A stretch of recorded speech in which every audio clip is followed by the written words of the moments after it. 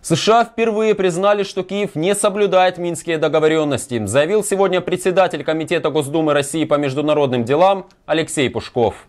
Так он прокомментировал высказывание госсекретаря США Джона Керри, прозвучавшие по итогам переговоров с президентом Российской Федерации Владимиром Путиным и главой МИД РФ Сергеем Лавровым. Глава Думского комитета напомнил, что до недавнего времени в Вашингтоне утверждали, что они ясно видят готовность Киева к выполнению соглашений. Однако, судя по заявлению Керри, США считают, что обе стороны не соблюдают минские договоренности. И это впервые США признали, что Киев договоренности не соблюдает, повторил Алексей Пушков. При этом он отметил, что говорить о сдвиге в позиции позиции США относительно украинского кризиса можно будет при изменениях в политике Киева, в частности в случае прекращения обстрелов и начала политического процесса.